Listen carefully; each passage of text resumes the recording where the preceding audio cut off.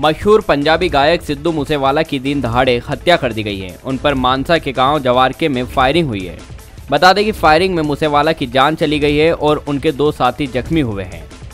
पंजाब में सीएम भगवत मान की अगुवाई वाली पंजाब सरकार ने शनिवार को ही सिद्धू मूसेवाला की सिक्योरिटी घटाई थी। मूसेवाला के पास पहले करीब आठ से दस गनमैन थे। मान सरकार ने उनके पास सिर्फ़ दो ही गनमैन छोड़े थे। शुरुआती सूचना के अनुसार सिद्धू मूसेवाला साथियों के साथ गाड़ी से जा रहे थे। काले रंग की गाड़ी में सवार दो हमलावरों ने उन पर फायरिंग की है।